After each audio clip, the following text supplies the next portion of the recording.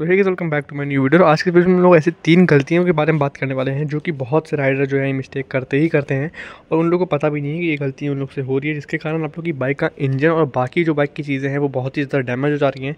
तो ये चीज़ें आप लोग आज ही से बंद कर देना, वरना आप लोग की बाइक में बहुत ही ज़्यादा मोटा खर्चा आने वाला है और आप लोग जो है एक्सीडेंट होने के चांसेस भी बहुत ज़्यादा बढ़े रहते हैं। और लास्ट वाली जो गलती है, वो वाला देखने बिल्कुल मत मिस करना, क्योंकि वो सबसे बड़ी गलती है, जो आप लोग हमेशा कर रहे हो।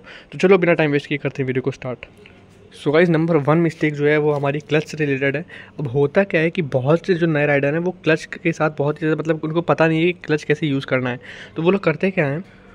उनकी आदत पड़ चुकी होती है जल्दी जल्दी गियर चेंज करने की। जैसे कि वो, जैसे कि रैश राइडिंग कर रहे होते हैं तो बहुत जल्दी क्लच दबाते हैं, तुरंत गियर चेंज करते हैं और तुरंत स्पीड जो है बढ़ाते हैं, क्योंकि उनका जो गियर है, वो टॉप मैक्सिमम स्पीड में पहुँच चुका होता है। जैसे फ़र्स्ट गियर है, वो पच्चीस से तीस की स्पीड में पहुँच जाता है, तुरंत। तो वैसे ही जो है क्लच दबा के गियर चेंज कर देते हैं। अब बहुत से लोग ये आदत पड़ने के चक्कर में होता क्या है कि जैसे वो क्लच जल्दी से दबाते हैं, उसके बाद छोड़ते हैं। तो होता क्या है कि बहुत तेज़ी में ये उनका जो होता है क्लच दबाना और छोड़ने वाला प्रोसेस जो है वो होता है। तो कभी कभी दबाने से पहले जो होता है, बहुत से लोग गियर चेंज कर देते हैं जल्दबाजी के चक्कर में, जिससे कि क्या होता है, स्पीड में आप लोग का गियर बॉक्स टूटने के हाई चांसेस होते हैं, आप लोग का एक्सीडेंट होने के चांसेस रहता है। आप लोग की क्लच क्लच प्लेट्स वगैरह जलने के चांसेस रहते हैं इंजन में तो बहुत ही ज़्यादा मतलब डैमेज करता है ये सब चीज़ें। तो ये हमेशा ध्यान रखना, जब पूरा क्लच प्रेस हो जाए, तभी गियर चेंज करो और धीरे धीरे छोड़ो। मतलब कोई भी गियर में तभी आप लोग धीरे धीरे छोड़ो। इससे क्या होता है, आप लोग की बाइक की क्लच प्लेट्स अच्छी रहती हैं, आप लोग का इंजन सही रहता है, आप लोग का गियर बॉक्स वगैरह सब कुछ ठीक रहता है और आप लोग जो है गेयर ईजिली शिफ्ट भी कर पाओगे। इससे क्या होता है, अगर आप लोग जल्दीबाजी में करते हो तो कभी कभी गियर जो है अटक जाता है और आप लोग का क्लच दबाने से पहले आप लोग उसको पैर से उठा देते हो या नीचे कर देते हो, जिसके कारण आप लोग का हाई स्पीड में गियर बॉक्स टूटने का चांसेस बहुत ही ज़्यादा हाई हो जाता है। तो नंबर वन मिस्टेक यही थी, अगर आप लोग ये करते हो तो आप लोग आज से बंद कर दो, ये आप लोग की बाइक में बहुत ही ज़्यादा डैमेज कर सकती है।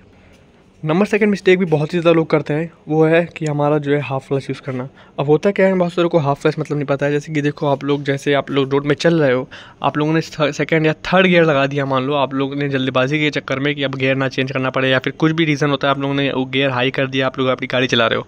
तो आप लोगों को जैसे पता है आरपीएम अपने हाई पर नहीं होता है, और गाड़ी जो होती है नॉकिंग साइड नॉकिंग साउंड जो है प्रोड्यूस करती है। जैसे खट खट टाइप की आवाज़ आती है तो बहुत से लोग क्या करते हैं गियर डाउन नहीं करते स्पीड के हिसाब से, और हाफ़ क्लच दबा देते हैं, जिसके कारण जो है उनकी बाइक की स्पीड जो है वो मेंटेन हो जाती है धीरे धीरे बढ़ती है। इससे क्या होता है, आप लोग की क्लच प्लेट्स जो है वो रिलीज़ नहीं हुई होती अच्छे से, जिसके कारण आप लोग की क्लच प्लेट्स जलने का चांसेस बहुत ही ज़्यादा बढ़ जाता है और आप लोग की बाइक के इंजन में भी इसका डैमेज बहुत ही ज़्यादा होता है। तो ये चीज़ का हमेशा ध्यान रखना है कि आप लोग हाफ़ क्लच नहीं यूज़ करना है। आप लोग गेयर हमेशा सही से यूज़ करो और जो भी इसकी स्पीड है उतनी भी ले जाओ, उसके बाद जो है आप लोग अपना गेयर आराम से ऊपर शिफ्ट कर सकते हो।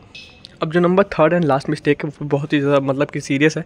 मैंने आप लोगों को जैसा वीडियो की स्टार्टिंग बताया था कि आप लोग थर्ड मिस्टेक ज़रूर देख लेना। अब ये होता क्या है कि बहुत लोग सुबह जो है उठते हैं, उन लोगों को जल्दबाजी के चक्कर में वो लोग अपनी बाइक चालू करके जो है निकल जाते हैं। आप लोगों ने अगर कोल्ड स्टार्ट सुना है तो अच्छी बात है, आप लोग अगर फॉलो करते हो तो बहुत ही अच्छी बात है। वरना मैं आप लोग को आज बता दूँ, आप लोग को करना क्या है, कहीं भी निकलने से पाँच मिनट पहले आप लोगों को अपनी बाइक को स्टार्ट करके छोड़ देना है, ताकि जो सारा इंजन ऑयल रात भर में नीचे जा चुका है, इंजन इंजन के नीचे जाके बैठ चुका है पूरा इंजन ऑयल सारे पार्ट से नीचे एकदम वो आ चुका है तो वो ल्यूब नहीं रहते हैं, सुबह सुबह सारे पार्ट अच्छे से ऑयल नहीं रहते हैं, जिसके कारण जब आप लोग एकदम तुरंत स्टार्ट करके निकल लेते हो तो वो जो पार्ट्स होते हैं, वो घिस जाते हैं बहुत ही जल्दी।